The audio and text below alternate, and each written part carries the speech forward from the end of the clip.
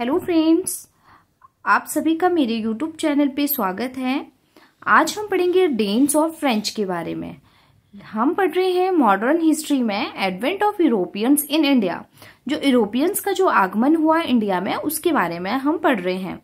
हम Portuguese, Dutch and English के बारे में हमने लास्ट वीडियो में पढ़ा था।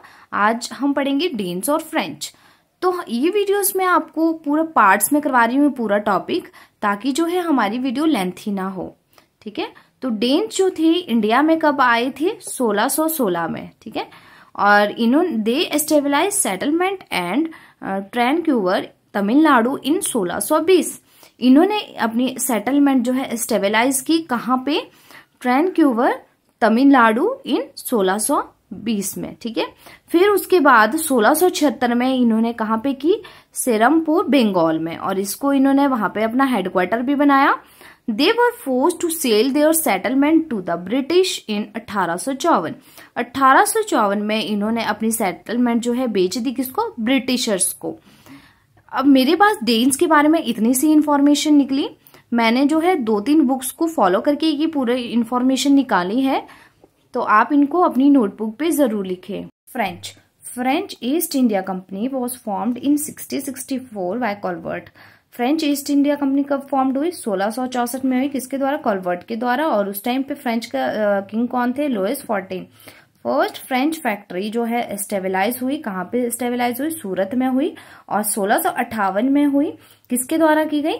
फ्रेंसिको कैरोन के द्वारा, ठीक है? याद रखना है आपने कहाँ पे हुई, कब हुई और किसके किसके द्वारा हुई, ठीक है? फिर है सेकंड जो आ, इनकी फैक्ट्री फ्रेंच फैक्ट्री स्टेबलाइज हुई वो ही मसूलीपट्टनम आंध्र प्रदेश में 6069 में हुई। The French power in India was revived under the Lenoir and Dumas ठीक है? ये कौन थे दोनों? ये थे गवर्नर थे फ्रेंच गवर्नर इनके टाइम पे क्या हुआ कि फ्रेंच की जो पावर थी वो इंडिया में पुनः जीवित हुई और इनका टाइम पीरियड क्या था? सतारह से लेकर सतारह के बीच में ठीक है? फिर दे अकोपाए इन्होंने क्या अकोपाई किया? Mahe in Malabar and Yanam in Coromandel and Karaikal in Tamil Nadu in 1739 में ये इन्होंने ऑक्युपाई किया the foundation of Pondicherry in सोलह इन्होंने किसकी नींव रखी?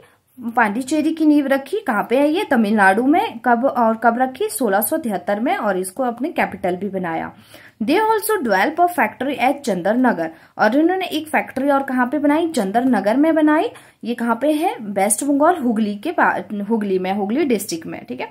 The arrival of Dupleix as French governor in India, in सतारह सौ बयालीस, जब डुप्लेक्स जो है फ्रेंच गवर्नर ये भी क्या थे फ्रेंच गवर्नर थे और ये इंडिया में आए थे सतारह सौ बयालीस में और इनके टाइम पे क्या देखने को मिला?